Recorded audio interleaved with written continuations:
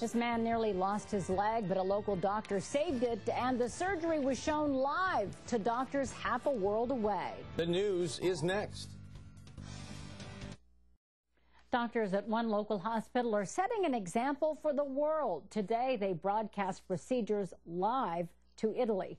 Anna Jackson talks with a patient who made a debut on the big screen while serving as a learning tool for surgeons.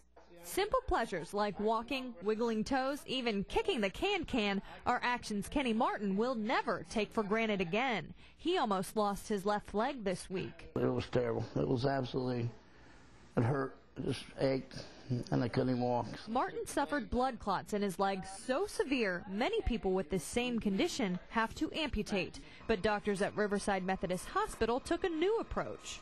Standing by with Italy to tell us to go live and broadcasted Martin's procedure live via satellite all the way to a medical conference in Italy. We were doing things that nobody had really even seen before, so it was it was a great fun, and they said they were having fun in Italy as well. In the past, doctors would have cut Martin's leg wide open for a nine-hour surgery, followed by 12 weeks of recovery. Today, Dr. Ansel and his team showed surgeons across the world how to save a leg in less than an hour with only a tiny cut and catheters. And as you know, Martin's already up and walking with no painkillers.